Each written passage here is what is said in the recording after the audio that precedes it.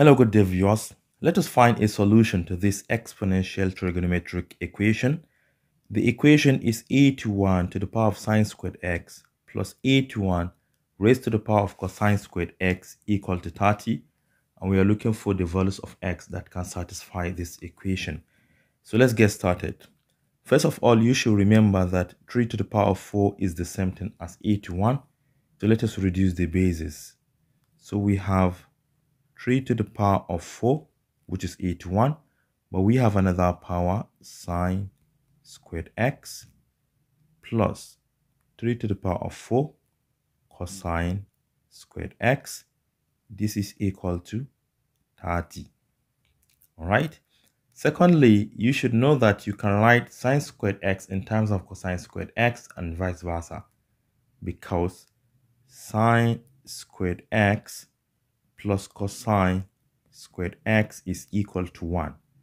Therefore, we can write cosine squared x as what? 1 minus sine squared x. So instead of cosine squared x, we are going to replace it with 1 minus sine squared x. Therefore, our equation becomes 3 raised to the power of 4 sine squared x plus 3 raised to the power of 4 multiplied by 1 minus sine squared x. The whole of this equal to 30. Now let us distribute this exponent. We have 3 to the power of 4 sine squared x plus 3 to the power of 4 times 1 is 4 minus 4 times sine squared x. The whole of this equal to 30. According to one of the laws of indices, we can break this down, right? And how can we do that? We have 3 to the power of 4 sine squared x plus 3 to the power of 4 divided by 3 to the power of 4 sine what? Squared x. All of this equal to 30. Now we're going to do a kind of substitution here by letting 3 to the power of 4 sine squared x to be equal to a certain variable. Let's use p. So wherever we have 3 to the power of 4 sine squared x, we are going to replace it with p. So to the left hand side, we have p plus 3 to the power of 4, which is a to 1, divided by p, and this is equal to 30. Now let us multiply every single term by p just to clear the fraction. p times p is p squared plus a to 1 divided by p times p is a to 1. This is equal to 30 times p, which is 30p. Now let us bring 30p inside. We have p squared. As 30p crosses over, it becomes negative 30p, then plus 81. This is equal to 0. Now we have a quadratic equation in terms of p, which we can factorize.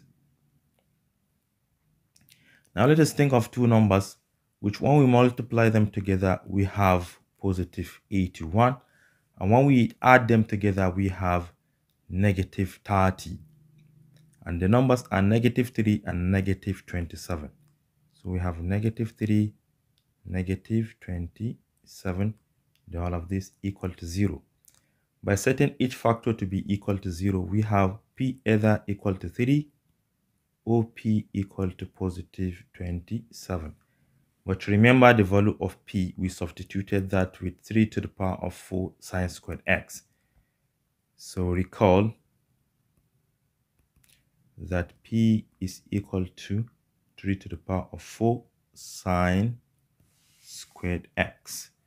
So we are going to substitute it back into these two equations. Let me start with the first one. We have 3 to the power of 4 sine squared x equal to 3, right? And 3 can be raised to the power of 1. Since the bases are the same, we can equate the exponents. We have 4 sine squared x to be equal to 1. Divide both sides by 4 sine squared x is equal to 1 divided by 4. Take the square root of both sides, By taking the square root of the left hand side, you will be left sine x. And this is equal to plus or minus the square root of 1 divided by 4. Sine x is equal to plus or minus square root of 1 is 1, square root of 4 is 2. So now let us go back to other equation. We have the second one which is p equal to 27. So we have 3 to the power of 4 sine squared x to be equal to 27 and 27 is the same thing as 3 to the power of 3 so this is 3 to the power of 4 sine squared x equal to 3 to the power of 3 the bases are the same therefore the exponents are also equal.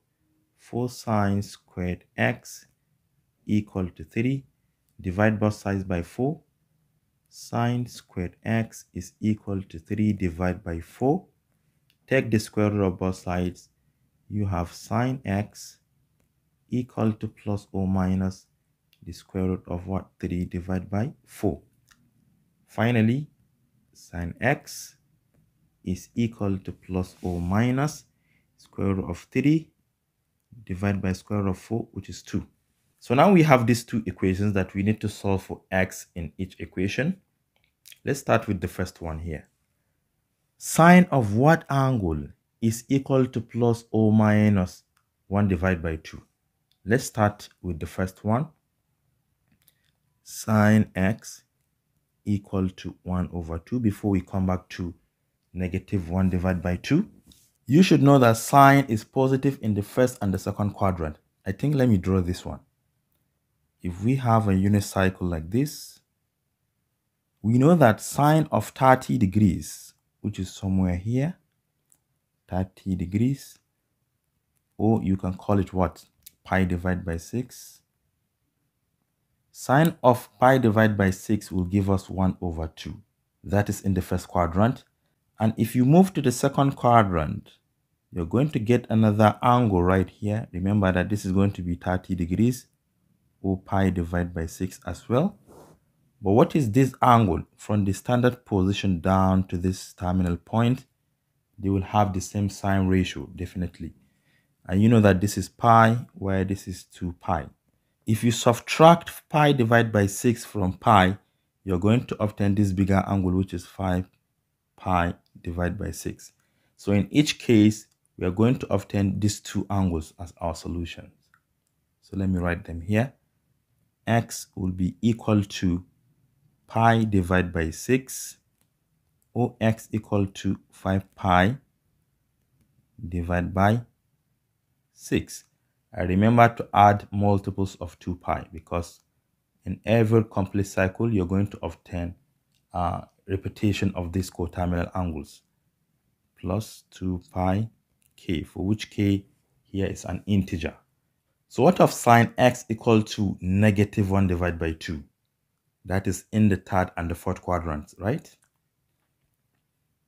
So when we have sine x equal to negative 1 divided by 2, the question is sine of what angle will be negative 1 divided by 2? So let me draw a unit cycle again. Suppose we have a unit cycle like this. Remember that we have seen that pi divided by 6, pi divided by 6 sine of pi divided by 6 is positive 1 over 2, right? So we can get negative 1 divided by 2 right here, right? And another one right here. So let me start with this one. If you look at this one, this line is a diameter. So by adding 180 from this position, it will take you to this terminal point. So let's add 180 and 180 remember is pi. And if you add pi you're going to get 7 pi divided by 6 so this is 7 pi divided by 6 so what about this angle? We can get this angle by subtracting pi divided by 6 from 2 pi. And that will give us 11 pi divided by 6 so this is 11 pi divided by 6 so we have obtained two solutions for that negative 1 divided by 2 7 pi divided by 6 and 11 pi divided by 6. So x here will be equal to 7 pi divided by 6 or 11 pi divided by 6. Don't forget to add 2 pi k, 2 pi k. So now we have obtained four solutions for the first equation, which has plus or minus 1 divided by 2. Now let us go back to uh, the other equation. Here we have sine x equal to plus or minus root 3 divided by 2. Let's start with sine x equal to the positive root 3 divided by 2. From the unit cycle, we know that sine of 60 degrees is the same thing as root 3 divided by 2. Or sine of what? Pi divided by 3 because pi divided by 3 is the same thing as 60 degrees. So let's go to the unit cycle. So if this is 60 degrees, which is pi divided by 3, we can get another solution right here by subtracting uh, pi divided by 3 from 180, which is pi, right? So pi minus pi divided by 3, which is going to give us 2 pi divided by 3, right? So this is 2 pi divided by 3. So now we have obtained two solutions for that. x is equal to pi divided by 3 plus multiples of 2 pi. Then the other one, 2 pi divided by 3 plus 2 pi k. What about when we have sine x to be equal to the negative root 3 divided by 2? And that can be obtained in the third and the fourth quadrant, right? So let's use the reference angle. This is going to be our reference angle. From that position down here, we are going to obtain another angle. And we are going to obtain also another one right here. So let's start with this one. We can obtain that by adding 180 to this angle because this is a diameter, right? So 180 is pi. Then we add it to pi divided by 3 this is going to give us 4 pi divided by 3 so this is 4 pi divided by 3 one solution. And how can we get this one? By subtracting this angle from 360 which is 2 pi minus pi divided by 3 this is going to give us 3 times 2 is 6 minus 1 is 5 so this is 5 pi divided by 3 so we have 4 pi divided by 3 and 5 pi divided by 3 so x could either be equal to 4 pi divided by 3 plus multiples of 2 pi and the other one x equal to uh, 5 pi divided by 3 plus multiples of 2 pi. And hence we have gotten so far eight solutions. You can see them. One two three four five six seven eight. We have eight solutions for this equation. And this is all I have for you today. Thank you for watching. Do share to your learning colleagues and don't forget to subscribe to my YouTube channel for more exciting videos. Bye-bye.